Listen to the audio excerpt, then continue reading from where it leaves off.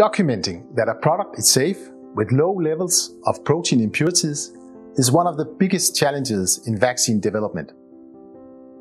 Traditionally, this has required the use of immunoassays, such as ELISA. However, developing a process-specific ELISA is time-consuming, typically taking 12 to 24 months.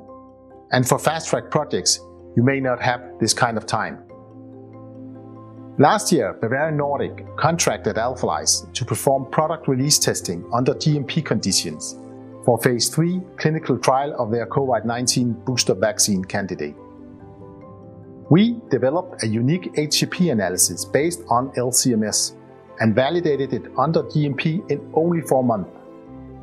The analysis fulfilled ICH guidelines, was submitted as part of regulatory documentation, and the project entered phase 3.